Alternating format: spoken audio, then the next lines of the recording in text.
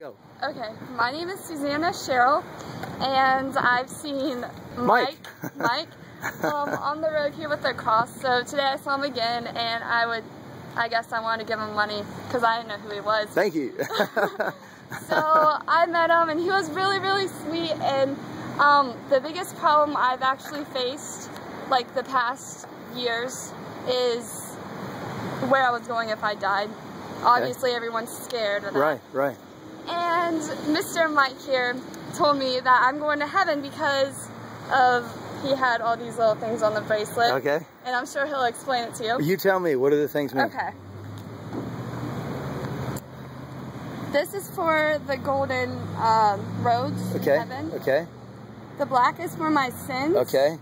But the red is Jesus' blood who paid for my sins. Right. And white is Jesus rose again, and that's like a receipt because right. he paid for it all. Right. And I didn't tell you the green. Okay, go like this. Put your hands above your head and say church.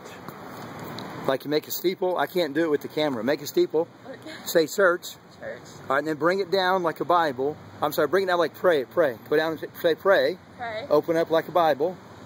Open the other way. Read the, here you go, Bible, and then bring it out and say, say love. Love. And bring it really wide and say witness. Witness. Yeah, so that's grow. Oh, okay. okay. All right. The green means grow. Right. So it's heaven, sin, the blood, paid in full, and grow. Yeah. Okay. So, um, zero to 100, how sure are you that if you were to die, you go to heaven? I am 100% sure. and how does your heart feel?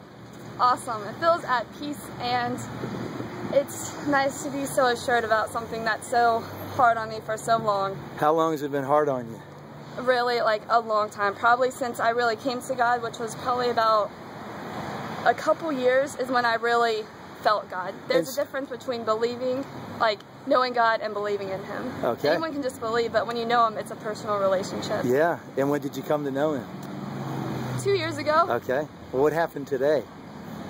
today, um, all my worries are rest assured because I know I'm going to heaven. When Good. I die. Good.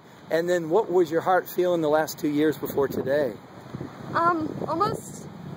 Obviously, if you think of hell, it's not good. Yeah. So what is your heart? What was your heart feeling? Uh, a burden. Fear. Yeah, fear. that is the biggest thing in my life was fear. Okay. Okay. And where's the fear now? It's gone. Isn't that awesome? It is really awesome. Uh, good. Okay. And is the blood enough to get you to heaven? It is What's enough What's the proof? Because Jesus does not lie, and that's why he came down here. Yeah. If it, it's if it's enough for God, it's enough. Yeah. What did he do with Jesus on the third day to prove to you it was enough?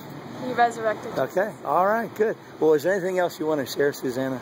Um, that I love God and everyone else should too.